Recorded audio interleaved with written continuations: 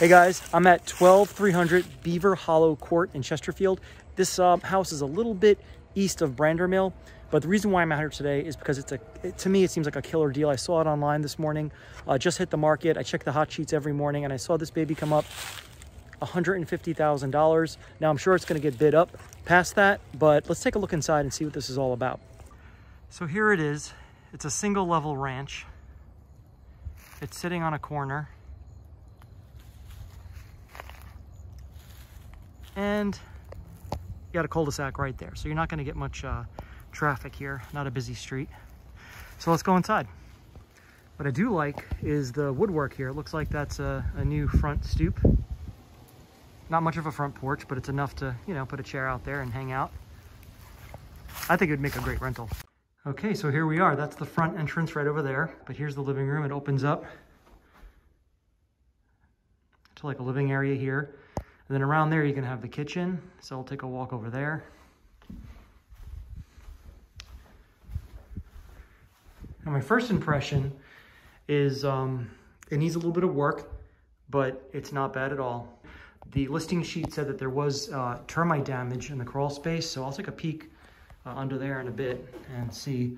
Um, a lot of the lights here are missing their light plates. Um, the windows appear to be single pane. They're not too uh, efficient, but you know, again, that's just something you could replace uh, over time. They're still usable, just not pretty and efficient. Okay, so from here, I see that baseboard um, heat.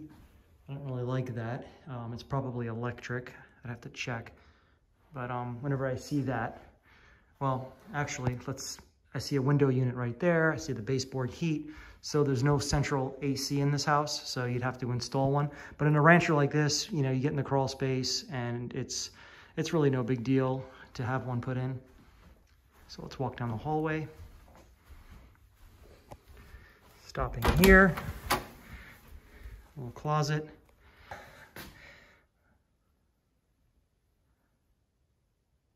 So there's a bathroom here.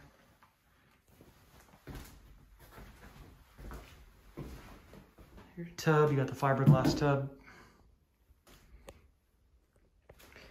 Oh, what do you see here? It looks like they painted over a little bit. They were trying to do the, uh, I don't know, actually no, they were trying to, I was gonna say they were trying to paint the corner bead, but it looks like they just painted the floor. That's kind of weird. So, I mean, it needs a little bit of work, but it's not bad at all. And you got a washer dryer here. So this is all in that first bathroom and it kind of leads into that bedroom. But we won't go through here. We'll go back to the hallway. Looks like a pet had an accident. You're gonna need new carpets anyway. I could kind of smell that um, they tried to clean the carpet. You could smell that carpet freshener. But I imagine over time that that smell's gonna fade and you're gonna smell probably dog, um, you know.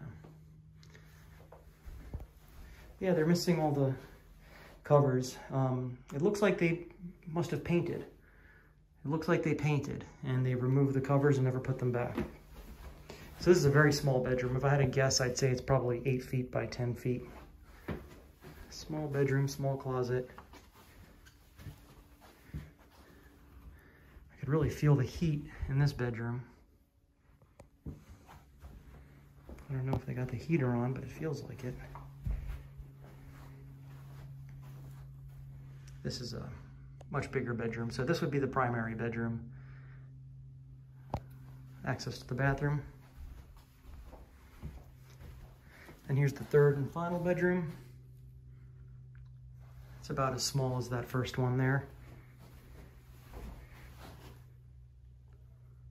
Okay.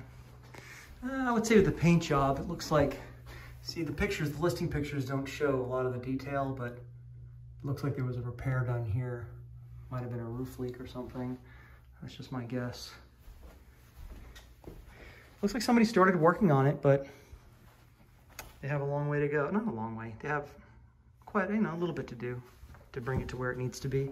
Now, for $150,000, my guess is that this property is going to get bid up like way past that. If I had to guess, I'd say probably $175,000 is where it's going to come in. Uh, I tell you what, what I'm going to do is when it does close, I'm going to put in the description below what the uh, final sale price was. So right now the list price is 150,000. I'm betting 175. So we'll see what happens. Okay, there's the crawl space opening and it's rather tall, which is great. I love that. I love high crawl spaces because when I have to do work under there, I, I don't have to worry about bumping my head and crawling around on my belly. Um, so I love that. I don't see any cracks in the foundation. Foundation wall looks pretty solid. I like that.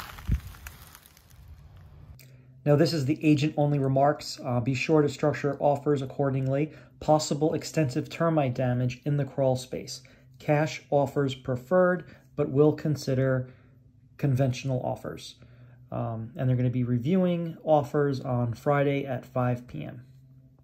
Okay, just looking in the crawl space here, um, I like what I see. That's that uh, thick, I don't know if that's 11 mil uh, vapor barrier. That's not that cheap black stuff that looks like a garbage bag. That's some solid uh, vapor barrier. Um, probably needs to be realigned a little bit. But that, that doesn't look that bad. And um, I see that they, they've been working on the plumbing. That looks like a new new fixtures, new um, fixtures, new um, uh, cutoff valves, the ball cutoff valve right there, and that's the main water line coming in from the street. And uh, I see how they go right into the ground. When those those things break, man, it can get expensive. They actually sell insurance policies um, for those. Get a picture of the back porch. Okay guys, if you're still with me, thanks for sticking around. Don't forget to subscribe so you don't miss future videos like this. If you have any questions about this property or other properties you're seeing out there, uh, or if you just need an opinion on something, don't hesitate to give me a call. Uh, my number's right over here, 804-301-7424. I look forward to hearing from you. Have a great day. Bye.